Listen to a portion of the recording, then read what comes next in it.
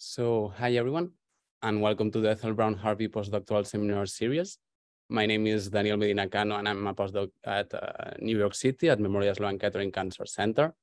And today I will be moderating together with Madison Martinez, a grad student at UT Southwestern Medical Center. And we are excited to highlight the work of our standing postdoctoral members. Today, Lauren Walker from University of Pennsylvania and Xufeng from University of Michigan will be sharing their research. And just as a reminder, each speaker is giving 20 minutes to give their scientific talk, and that will be followed by 10 minutes of Q&A. So for everybody attending, just a reminder to write your questions down in the Q&A box, and I will just read them out loud once the presentation is over. And so let's get to it. So our first speaker, Lauren Walker, did her PhD at Washington University in St. Louis at Aaron DiAntonio's lab. And there she studied axonal degeneration and how MAP kinase signaling promotes it. Then she moved for her postdoc to University of Pennsylvania to the lab of Michael Granato, where she kept on studying axonal dynamics and regeneration, in this case using zebrafish as a model. And not only that, but while doing all of that, she has also been awarded several fellowships and awards, such as NSF, F32, and K01, and has a long track record of teaching, mentoring, and even founding uh, journal club groups. So because of this, I'm truly excited about what she's going to tell us about today. So please, Lauren, whenever you want, the stage is all yours. Go ahead. Okay, uh, thank you so much. Um, so, there we go.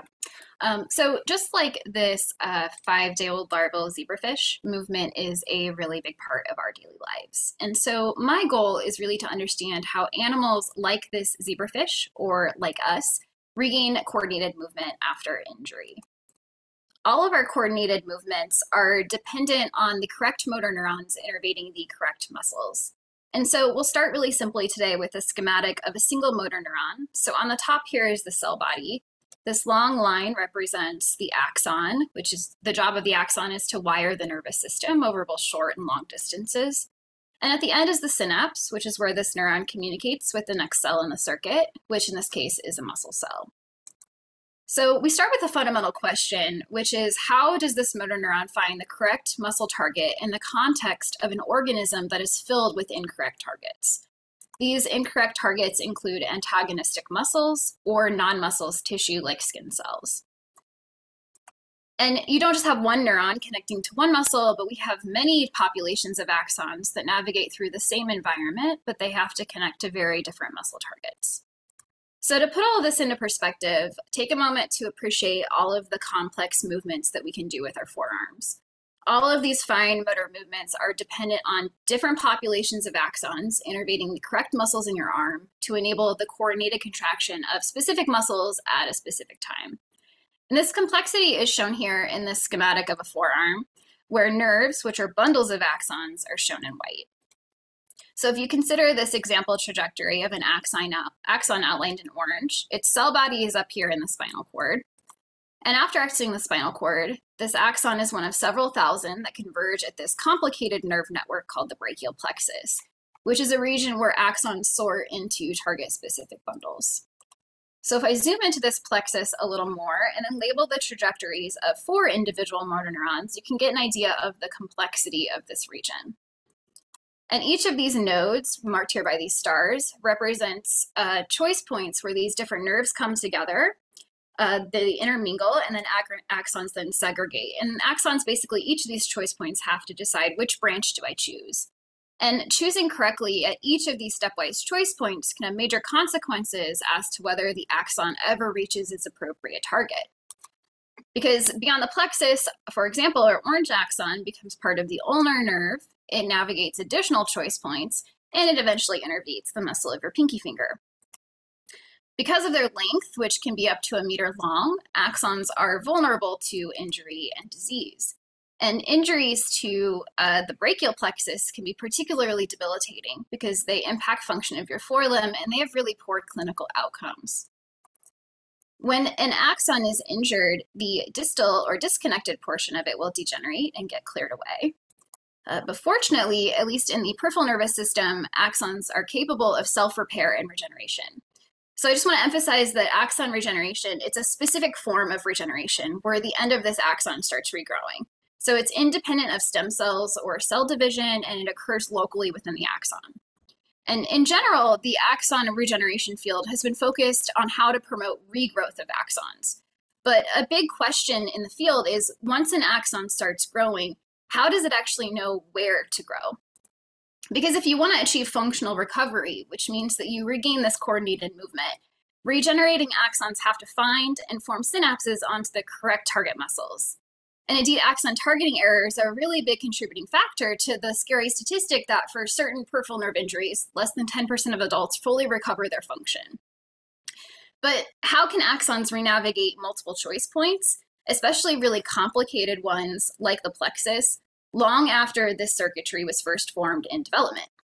Uh, despite its clinical relevance, this has been a really challenging question to address mechanistically with existing model systems largely due to technical feasibility issues. And so during my postdoc, I've established a model that enables us to study the mechanisms of axon targeting from development through regeneration.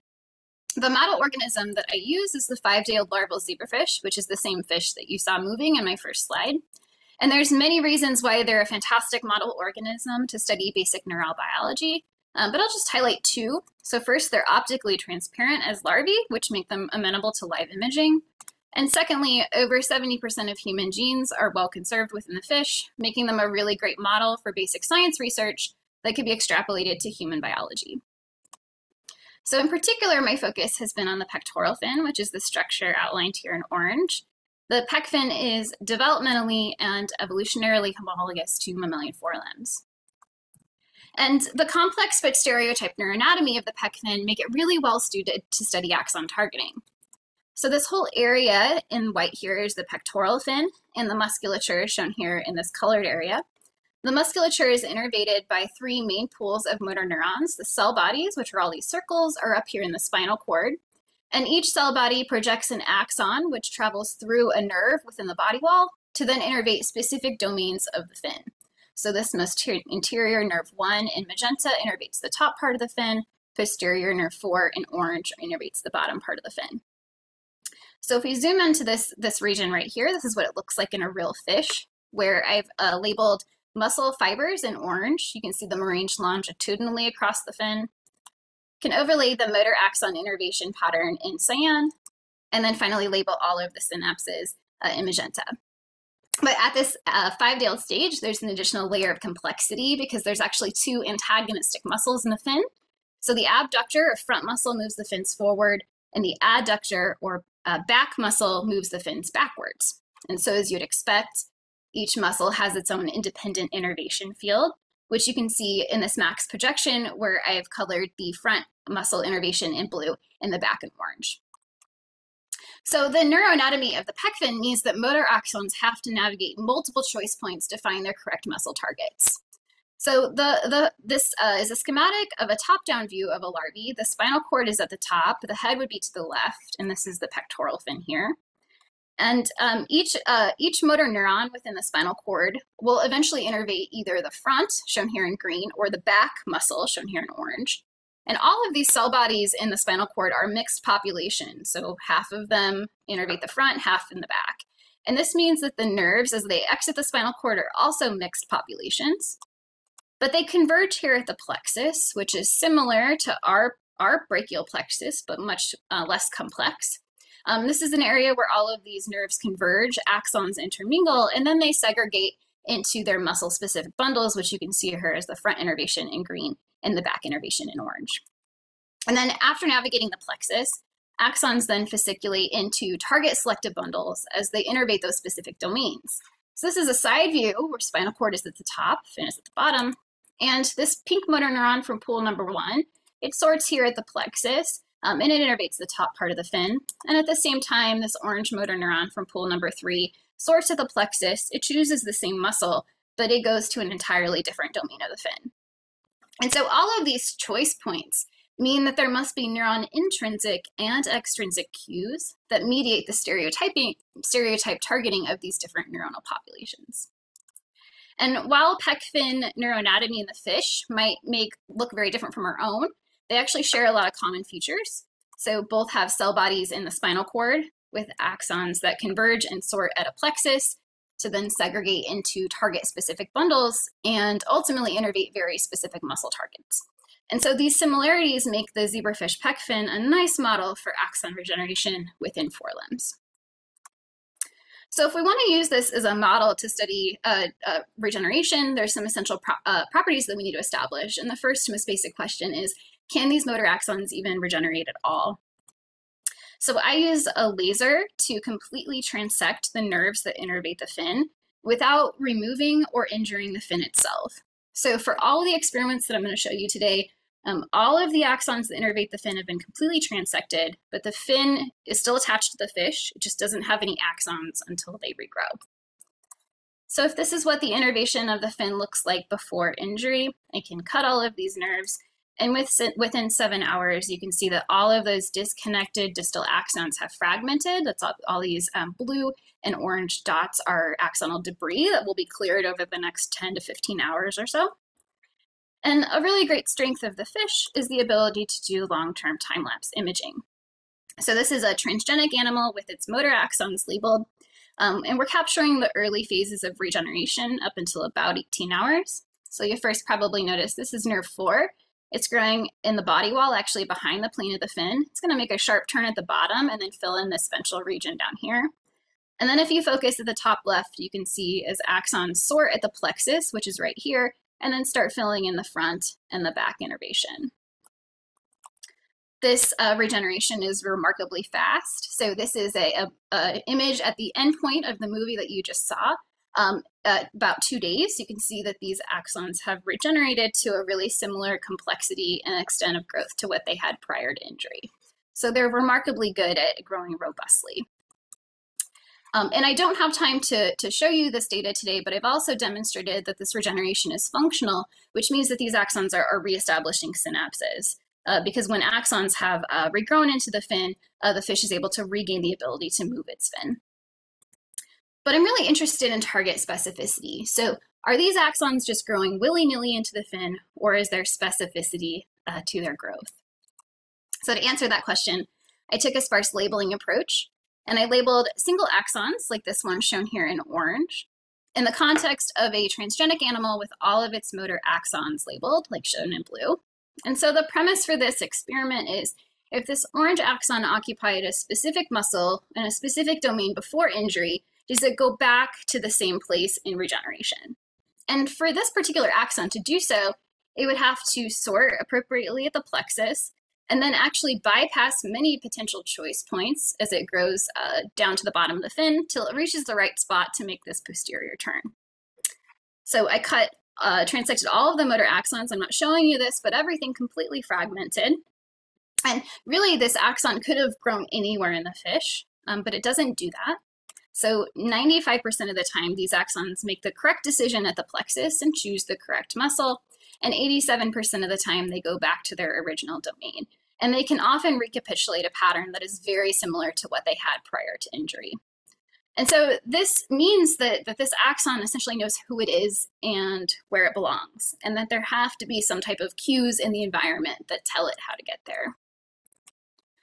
So uh, the pec fin is the system where axons can regenerate within two days back to their original uh, muscle targets where they reform functional synapses, demonstrating that this process is actively regulated by unknown mechanisms.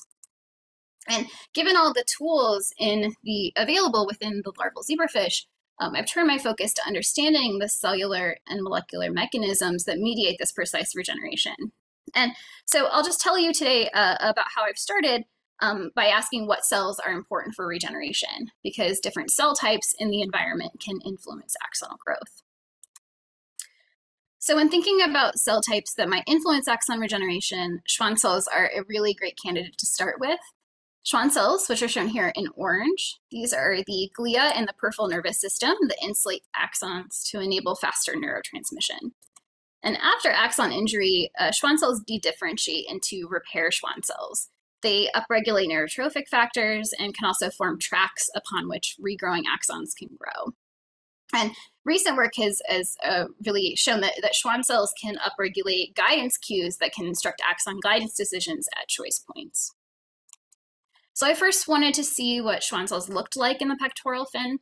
Uh, so here you're looking at a maximum projection through just the front innervation pattern um, of a pectoral fin with motor axons labeled in green and Schwann cells labeled in magenta, and the Schwann cells are shown here by themselves.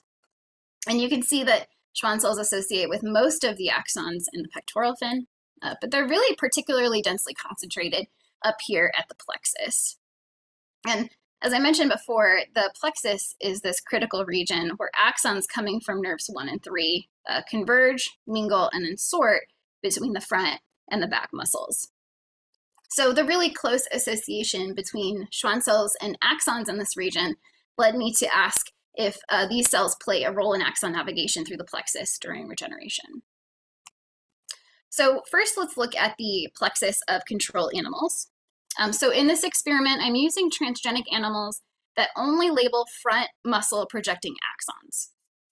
So prior to injury, you can see tightly fasciculated axons from nerve 1 and 3 as they converge here at the plexus, um, forming this Y shape. And then this population of labeled axons continues to form front muscle innervation. So after transecting these nerves and waiting two days for regeneration, you can see that this plexus structure is reformed. So you're already familiar from my sparse labeling experiments that 95% of axons correctly navigate the plexus to choose their correct original muscle. And so that's shown here by this really uh, bright fascicle of front muscle innervation. But this also means then that, that 5% of axons get mistargeted to the back muscle, the incorrect muscle, and that's what these uh, faint axons are here. They're mistargeted axons on the wrong muscle. And this is pretty consistent. This, this X shape basically is pretty consistent um, in wild type animals. So to ask about the role of Schwann cells specifically during regeneration, I employed transgenic zebrafish that express an enzyme called nitroreductase specifically within Schwann cells. So nitroreductase catalyzes this innocuous drug called ranitidine into a cytotoxic product that causes cell death. So this allows me to specifically and temporally ablate Schwann cells. So as you can see in this uh, pre-injury image, these animals are perfectly normal before the uh, addition of the drug. So I um, transected axons and then um, added the drug after a couple hours to specifically ablate Schwann cells during regeneration. And the effect of ablating Schwann cells on axon navigation through the plexus is really striking. So in this example, axons fail to properly organize and sort at the plexus. Instead, they often defasciculate um, and enter the fin at ectopic locations outside of the plexus. So I've quantified this uh, using what I'm calling a disorder uh, score at the plexus region, more of a qualitative score. So this control would have gotten a none or a mild green score, while this ablated animal would have gotten a severe score. And so I'm showing this quantification on the right. All of these three groups are various controls, and you can see that most of them have, excuse me, um, very mild um, um, disorder at the plexus region. But ablating Schwann cells really drastically shifts uh, most of these animals to the severe category. So that was a time point at the end point of, of regeneration, um, but what does axon navigation look like without Schwann cells in real time? So we're zooming into this area of the pectoral fin, and in this max projection from the beginning of the movie, um, I've labeled axons in green and Schwann cells in magenta. So these big blobs, these are Schwann cell cell bodies, these are Schwann cell membranes. You won't be able to see the Schwann cells in the movie, we'll just be looking at the axons. And at the beginning of the movie, so here is the plexus, and you can see axons that are tightly fasciculated until they come to this first, these branch points, which are in the musculature. And so you can watch um, as axons uh, grow into the pectoral fin. It's pretty structured and organized. They're generally tightly fasciculated until they reach these kind of characteristic branching points. Uh, but uh, axon growth looks pretty different when I ablate these Schwann cells. So first, you'll notice in this max projection from the beginning of the movie, these big blobs, these are uh, dying uh, or dead uh, Schwann cell cell bodies. And when I start the movie, I think you'll be able to, to appreciate um, how uh, disordered um, and kind of chaotic this axon growth is when axons are not present. And one major consequence for um, uh, this disorder at the plexus region is an increase of uh, axons mistargeting to the incorrect muscle. So this is a maximum projection um, on the left, and then a tracing of mistargeted axons on the back muscle of a control animal. So remember about 5% of axons or so get misprojected to the back muscle, and those can eventually, they, they stabilize in a, in a wild type animal. Um, but when Schwann cells are ablated, um, there's an increase in this mistargeting, both in the total area, which is what I've quantified over here on the right, um, but also in the intensity, um, suggesting both that there are more mistargeted fascicles, but also that each mistargeted fascicle may contain more mistargeted axons than controls. And so these results indicate that Schwann cells play an important role to promote uh, correct axon targeting through the plexus during regeneration. And while Schwann cells are clearly doing something important during regeneration, um, I'm also working to one minute left. I'm also working to identify which specific guidance cues are expressed on Schwann cells and other cell types that actually influence axon guidance. But for the molecular part of the story, you'll have to uh, to stay tuned. So I'm really excited about the, the potential here because uh, this model is, is um, a system where regenerating axons navigate a plexus to reform functional connections to their original muscle targets. And so the fin provides this unique opportunity to observe and manipulate axon regeneration at single axon, single synapse resolution in vivo. So I showed you that Schwann cells are one cell type that play an instructive role during axon regeneration. And my long-term vision is to use the system um, as a platform to identify the guidance receptors and cues, I'm calling these the, the molecular code, um, that enable stepwise axon guidance decisions within the fin. And I'm not only excited uh, for what the fin can potentially reveal from a basic science perspective, um, but the goal is to take advantage of this extensive toolkit that's available in the zebrafish to understand the cellular and molecular mechanisms that enable the fish to regenerate so well, with the hope that we can translate these lessons from the fish into therapeutic applications for humans someday. Um, and so with that, I'd like to thank uh, the Granato Lab, particularly my mentor, Michael, for the, um, the latitude and flexibility to really um, establish this project. Um, Camilo uh, and uh, Rebecca have been um, uh, really uh, uh, helpful with different aspects of this, this project. Um, I'd like to thank the fish community for um, their generous sharing of, of reagents. I'm really grateful to um, these folks for their, um, their mentorship, grateful to my funding sources, and I'm particularly grateful to um, all of you and SDB, um, especially for all the, the, support that SDB gives to trainees. I'm really grateful for, for this platform. and with that, I'm happy to take any questions. Awesome. Thank you so much. That was really cool really cool. Uh, so just as a reminder to everybody in the audience, like if you have any questions, just type in the Q&A box. And I see that we're always having a lot of questions in there. But first, I just have like a really naive question. Like, do they get something good from being in a plexus? Like, why do they come together first? Like, it's because like then they travel faster or something like that. Like, why would mm they do that? What's the point of the plexus? I I don't um I don't really know. I mean, it's pretty common in um in biology to have this area where um, things converge and then can resort. So it, there must it must be a center for different guidance cues, basically like a let's stop here, collect our bearings, and then move on, perhaps. Um, I like that. Yeah.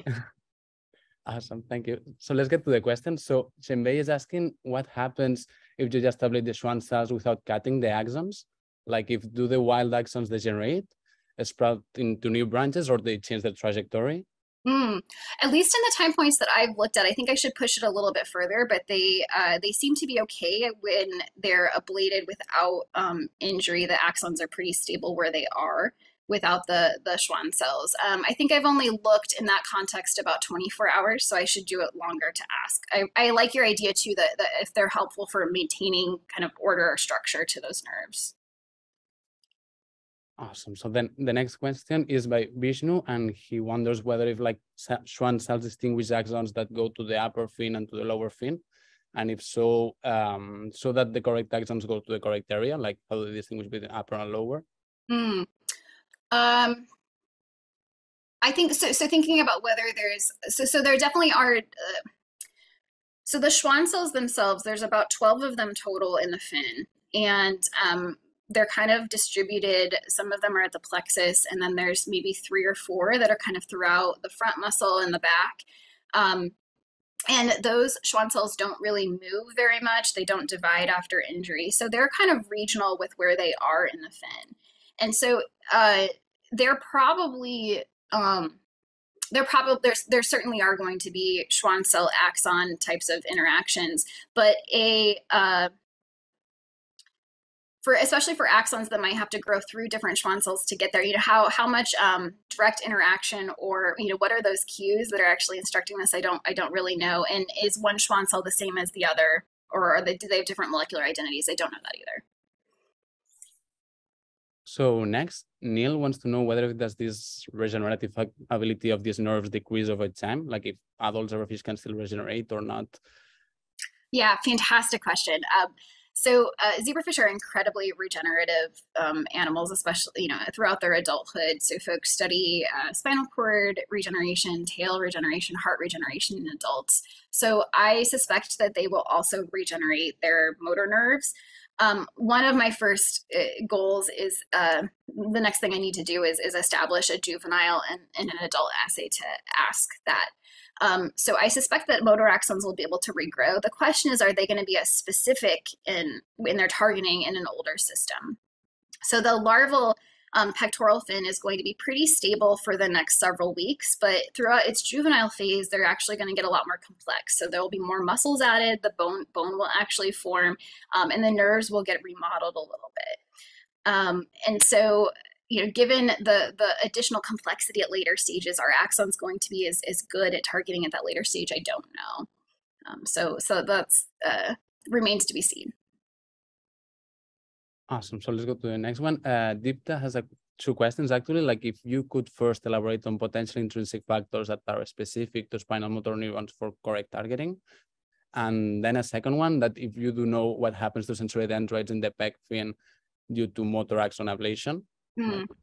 Are consequences? So, um, I can start with the, the sensory uh, question first. I don't really know. Um, so this, there's our sensory axons that are in the um, the skin, um, and so it's kind of um, like if you think of the the, the fin like a big old sandwich. Um, we have endoskeletal cells in the middle, nerves and glia. So there's perineuroglia and Schwann cells that kind of associate with the nerves, and then muscles, and then skin. And within the skin, there's uh, sensory axons.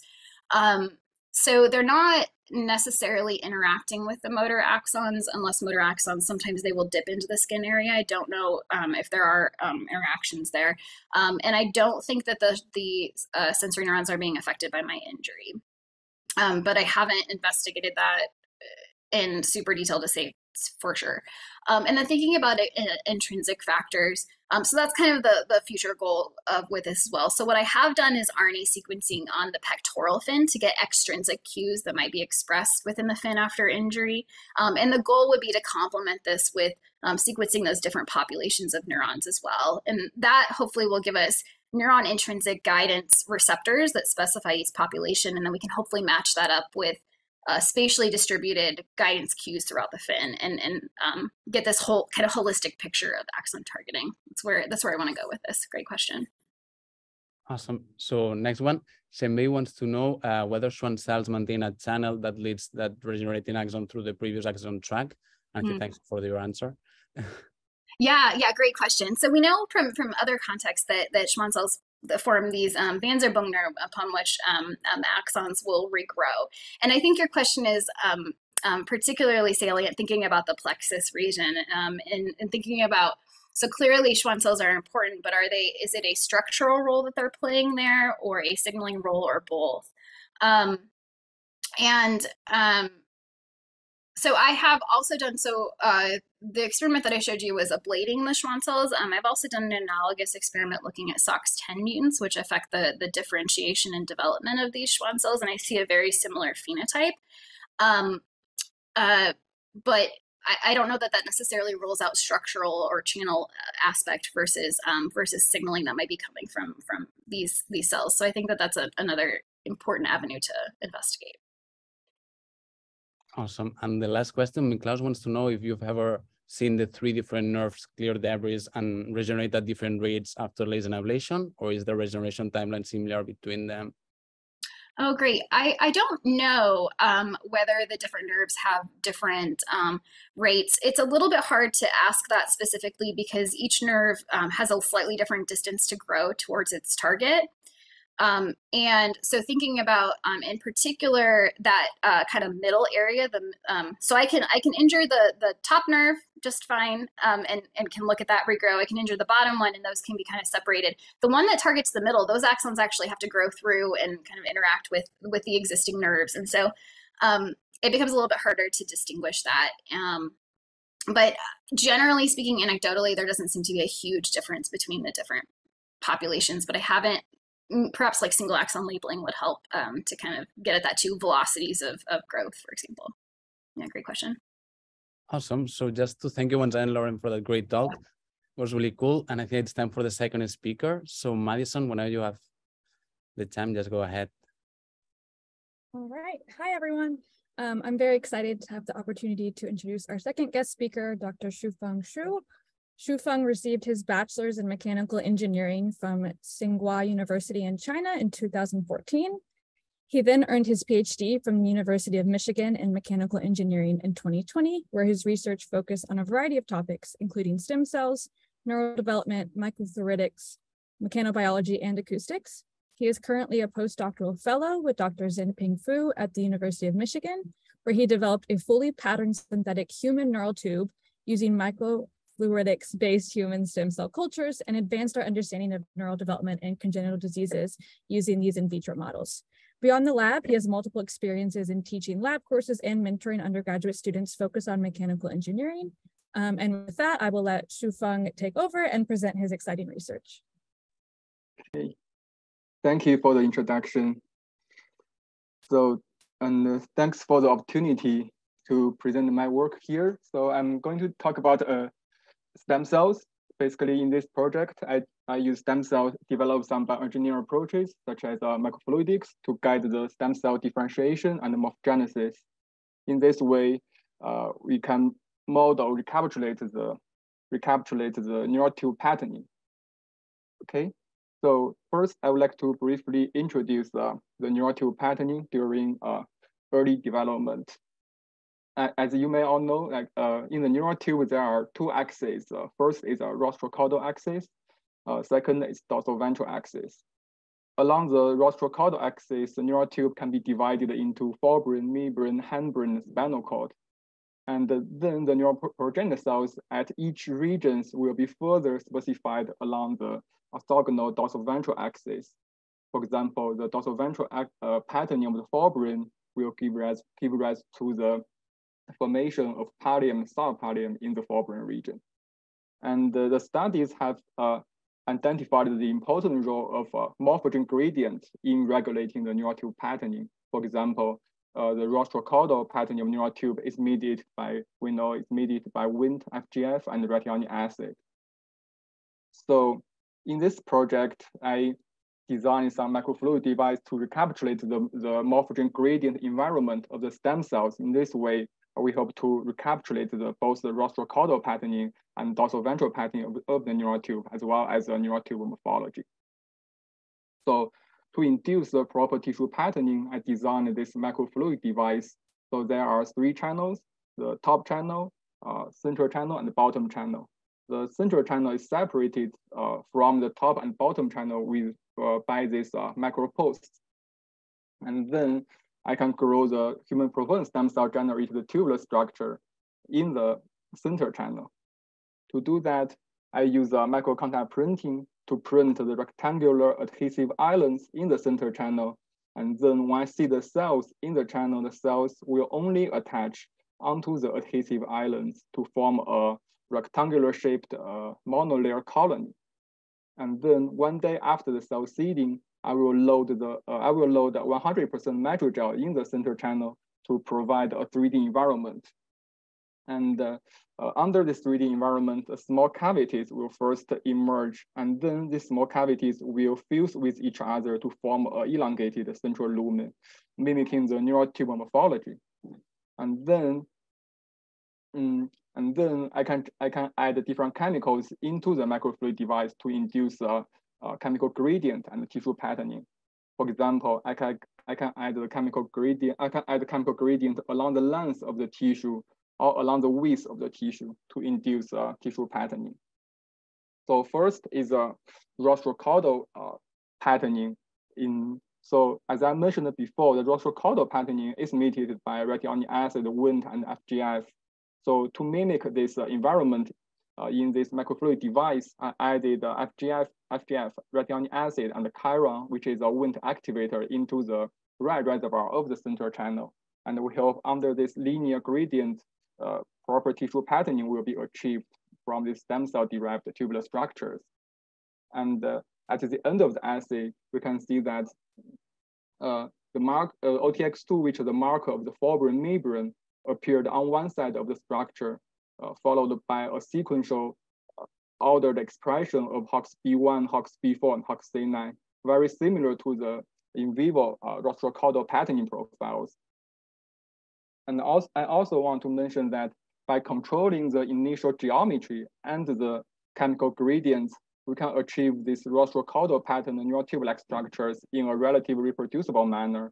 So uh, the, these tissues within a same device, they share a similar tissue morphology as well as the Roche-Ricardo pattern uh, profiles. And I also checked another very interesting cell type. It's called neuromesodermal progenitor cells. As you can tell from its name, the neuromesodermal progenitor cells uh, will give rise to neural cells and also mesoderm cells uh, during the development. And uh, these neural mesodermal progenitor cells, or NMPs, they are located in the most caudal part of the tissue. And it's very important for the caudal spinal cord development in this case. So I stained the, the our I stained our in vitro tissues with these three markers, and we identified the triple positive cells the cells that are positive for SOX2, CDX2, and uh, BRA-Curie. Those, those cells are neural mesodermal progenitor cells. And uh, to further check the dynamics of this uh, population, I performed lab imaging using a BRA-Curie reporter cell. And uh, we found that BRA-Curie positive neural mesodermal progenitor cells mm, will for, uh, they emerge transiently, transiently in our system is consistent with the in vivo dynamics of these uh, NMP cells. Mm, next, uh, next, uh, next, uh, I further studied like uh, the one important transcription factor in the NMP development, the CDX2. I further studied the role of CDX2 during the neural tube development. So the in vivo phenotype of a from mouse study show that the CDX2 is very important for the uh, caudal development. For example, it a affects the axial elongation the caudal spinal cord development. To study the role of CDX2 in this in vitro model, I generated these CDX2 knockout cells. And uh, in the control sample, we can see that in the, in the caudal part of the tissue, there is a, a lot of tissue growth, but because of the, the tissue are confined in the gels, they cannot really elongate, so they bend. But uh, if we knock out CDX2, we, uh, this tissue growth in the caudal part disappeared uh, in indicated that the CDX2 indeed play a role in the caudal spinal cord development. To specifically study how the CDX2 affect axial elongation and mix the fluorescent labeled human embryonic stem cells with the background embryonic stem cells. In this way, I can track the, the, the growth of single human pluripotent stem cells to track their clonal growth. And uh, at the end of the assay, the length of this colony generated from a single cells can be can indicate the, the axial elongation in this process. So if, if we look at the control sample first, so in the most caudal region, the colony length is significantly larger than other regions, indicating the uh, indicating in our in vitro neural tube tissue, the caudal part elongate, uh, elongate uh, uh, at a higher rate than the, the other regions. But if we knock out CDX2, this uh, axial elongation is significantly uh, inhibited, indicating the CDX2 uh, in our system is indeed is also very important for the axial elongation. And also, I also checked the Roche-Ricardo patterning, uh, whether CDX2 will affect the Roche-Ricardo patterning. So in the control group, we have uh, this spatially organized expression of HOXB1, HOXB4, and HOXC9. But if we in, uh, knock out CDX2, the HOXB1, HOXB4 expression was not affected, but HOXC9 expression was completely gone, indicating that indeed HOX um, CDX2 is very important for the caudal spinal cord development and the axial elongation. Uh, in the previous slides, I have showed that we can generate a rostrocaudal pattern neural tube-like structures.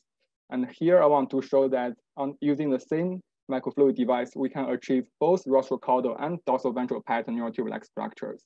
To do that, we add another additional step to add chemical gradients um, perpendicular to the tissue to induce a dorsal ventral patterning. This video showed the, the tissue growth during the second step. As you can see that during the rostral, during the dorsal ventral pattern, you can see some cells, some single cells start to delaminate from the top part of the tissue, and these cells are neocrest cells. I will talk about these cells uh, more in the later part of this presentation. And uh, first, uh, under this protocol, first the rostrocaudal patterning was uh, still achieved. Mm, as you can see, the uh, spatially organized expression of OTX2, HOXB1, HOXB4, and HOXA9. And uh, another interesting observation is that OTX2 positive forebrain midbrain-like region are significantly wider than other regions, uh, suggesting a rapid tissue growth in the lateral direction in the rostral region. In terms of a dorsal ventral patterning, we can see that in this tissue, the PAX7 positive dorsal neural progenitor cells appeared on the top, but the olig2 positive, like a motor neuron uh, progenitor cells uh, uh, emerged in the bottom, indicating, indicating a rudimentary dorsal ventral patterning. And, the, and then I performed tissue sectionings to reveal the cross section of the tissue at different regions to further visualize their dorsal ventral patterning. Mm, before that, let's first uh, take a look at the in vivo image. So during the in vivo development, the dorsal ventral patterning of forebrain will give rise to give rise to pallium in the dorsal side, which is positive for PAX6, and some uh, subpallium, which are positive for mm, DLX2 and NKX2.1. And similarly, in the rostral region of our tissue, the cross-section showed a spatially organized expression of PAX6 on the top and the DLX2 and NKX2.1 in the bottom, very similar to the dorsal ventral patterning of the uh, forebrain region. And uh, in the spinal cord region, we also achieved the spatially organized expression of FOXA2, NKX2.2, and OLIG2, similar to the dorsal ventral patterning of the spinal cord region. So uh, I have talked about that our uh, the, the microfluidic neurotube-like neurotube-like structures can recapitulate the, both the rostral caudal and dorsal ventral patterning. And here is a mm, we also studied the, the neuron crest development. Neuron crest is a very interesting cell type. During development, they will delaminate from the uh, top part of the tissue and migrate away as single cells to their destination. And these neuron crest cells, they can differentiate and develop into a variety of tissues such as the mesenchymal cells in our craniofacial regions and the heart, or the peripheral nervous system, such as the Schwann cells and sensory neurons. One, in, one very interesting observation is that the neuron crest cells at different axial lo locations actually de uh, develop differently. For example, the, the mesenchymal cells can only be developed from the cranial neuron crest cells in the rostral region but the sympathetic neurons can only be de uh, developed from the, the caudal neural crest or trunk neural crest cells at the caudal region. So, um, and it turns out that our in vitro system can also recapitulate this uh, axial position dependent neural crest cell development. For example, the twist1 positive mesenchymal cells can only be observed in the rostral region of our structure, but the FOX2B positive sympathetic neurons can only uh, are, is only evident in the most caudal part of our tissue, indicating uh, in our in vitro uh, neural tube model, we can also achieve this axial position dependent neural cell development.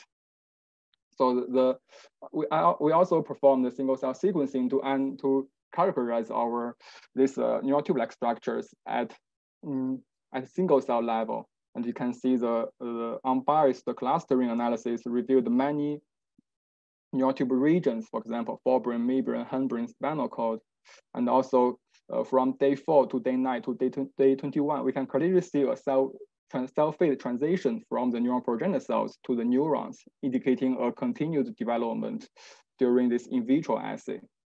And uh, we also compared our in vitro data with the mouse embryo data at uh, early, at a, at a um, late gastrulation and early organogenesis stage, as this PCA analysis revealed a similarity of our day four data with the mouse E8.25 data and our day nine, day 21 data very similar to mouse E10.5, 11.5 data.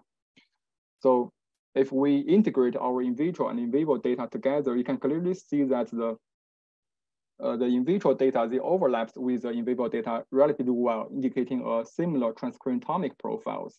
So if we zoom in to compare cell type composition, and let's use uh, day nine data as an example, you can see the two data sets in vitro and in vivo, they um, have a similar cell type composition and each class, each cell type overlaps with their in vivo counterpart relatively well, indi further indicating a similar transcriptomic uh, profiles. So uh, I think I hope uh, right now, uh, hope I have presented that um, we have our neural tube, our macrofluidic neural tube uh, like structures can recapitulate both the rostrocaudal dorsal-ventral patterning as well as the neural crest development. And next question is that can we use it to study some um, diseases, study some disease mechanisms? So here I'm going to give you one example to use this in vitro model to study a congenital disease called CHARGE syndrome. CHARGE syndrome is a congenital disease that mainly affects the craniofacial regions and, and also heart development. Mm. And it turns out that most of the CHARGE syndrome, mo most of the CHARGE syndrome is caused by a mutation in single genes called uh, CHD7. CHD7 is a chromat chromatin remodeler and affect many transcription factors and signaling pathways.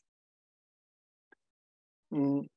Another interesting uh, another interesting finding of the CHARGE syndrome is that many CHARGE syndrome affected tissues, uh, such as the craniofacial tissues or the heart, actually are derived from neural crest cells. And indeed, in vivo studies show that if the CH7 knockdown will affect the neural crest migration in the Xenopus embryos. So because in our model, we also we have a we have a, a spatial pattern of neural progenitor cells and the emergence of neural crest cells, which provide a suitable system to study the CHARGE syndrome. And we collaborate with uh, Dr. Donna Martin in the medical school in Yerevan. Uh, her lab generated this uh, um, this induced protein stem cells from CHARGE patients. And also they use CRISPR-Cas9 to correct the mutation to generate this isogenic control cell lines. When we uh, derive the neural tube-like structures from these cell lines, from both uh, control-induced uh, protein stem cells and CHARGE patient-derived iPS cells, uh, here is the image showed the morphology of neural crest cells. And we can clearly see the morphology difference between the control and the CHARGE patient-derived induced protein stem cells. So in the control cells, the neural cells are more dispersed, dispersed and uh, migratory. But in the CHARGE patient-derived iPS cells, the neural cell is not as migratory as the control cells.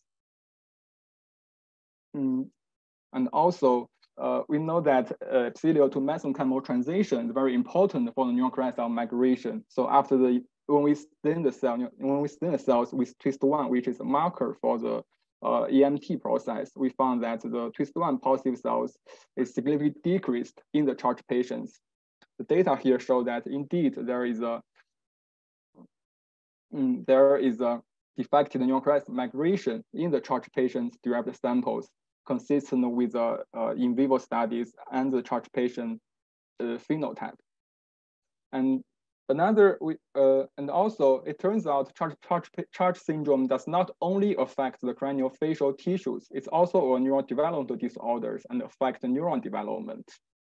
So its image showed that the cerebellum defects in these CHARGE patients. Mm. Because in our system, we can achieve the rostrocaudal pattern uh, neural tube regions, and we want to ask whether the CHARGE syndrome will affect the rostral-caudal patterning at early uh, stage of neural development. When we send the samples with OTX2, which is a marker for the forebrain midbrain, we can see that the OTX2 positive forebrain midbrain-like regions decreased in the charge, charge samples. Indeed, that we found that charge syndrome can affect the forebrain midbrain development at the early stage. Mm, at last, we studied we studied the molecular mechanism understanding uh, underlying these uh, forebrain midbrain uh, defects. So to do that, we performed a multi-omic uh, analysis. We generated these uh, uh, neural tube-like structures from both control and charge iPS cells, and we performed single-cell RNA sequencing to examine the uh, gene expression, also the single cell ATAC sequencing to examine the chromatin accessibility uh, here, this is a um, single cell RNA sequencing data of the integrated data sets. Uh, as you can see that the, the ratio of forebrain midbrain cluster is decreased when we compare the charge and the control patients, control samples, uh, consistent with the immunostaining data I showed in the last slides. One minute so, left. Thank you.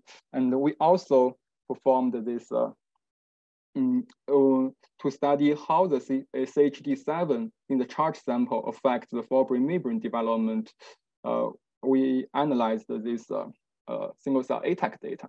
We found that um, in the charge patients, the accessibility of OTX2 promoter region and one midbrain specific enhancer region decreased compared to the control data. And also we uh, performed this uh, co-accessibility analysis. As you can see that in the control data, there is a line connecting these two midbrain specific enhancers, indicating the enhancer-enhancer interaction. But uh, in the charge um, sample, the, the, this two, these interactions between the two neighboring uh, two midbrain specific enhancers disappeared. So we found that the CHD7 indeed affects the promoter and one specific, one neighboring specific uh, enhancer accessibility and also affect, uh, affects enhancer to enhancer interactions, which uh, potentially under, which potentially explains the um, forebrain midbrain development defects in the charge patients. So at last, I would like to uh, thank my advisor, uh, Dr. Jianping Fu, and uh, we are engineers, so we are good at developing these in vitro systems. So, and also we collaborate with a lot of uh, uh, biologists in neural development to bring organoid, and especially the, the charge patients, especially the charge syndrome studies. So to use to, to see how we can use this in vitro model to study fundamental human questions. Without that, I would like to take any questions. Thank you. Yeah, that was awesome. Thank you for your great talk. Uh, while we wait for questions to be entered, I'll go ahead and just get us started. Um, so I saw you showed kind of more earlier development, but with your model system, how far in development are you able to achieve um, in neurodevelopment? Can you get like, if you like, how far can you mimic, like say in mice, are you able to get kind of that later development of the neural tube or does it stay around like 10, 5, 11, 5? Uh, yeah, yeah, it's a very good question. Actually, we are working on that.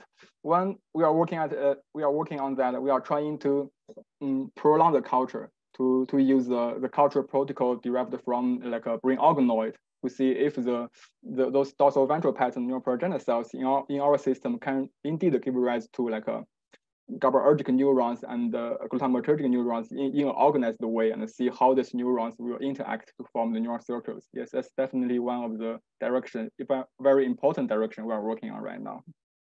And is the is the timeline a lot quicker versus I guess it's like human iPS cells. So what's the timeline of your of your process versus normal development?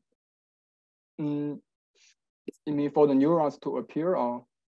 Yeah like for you know for your stages of your caudal and rostral axis as well as for your you know different neurons to appear is it a lot quicker than you would see in normal development i think uh, if we compare the the uh, this in vitro, the timeline of this in vitro model with human development is much faster because you see, I think the neural patterning, the neural tube formation and the patterning of uh, human neural tube is, is around one month.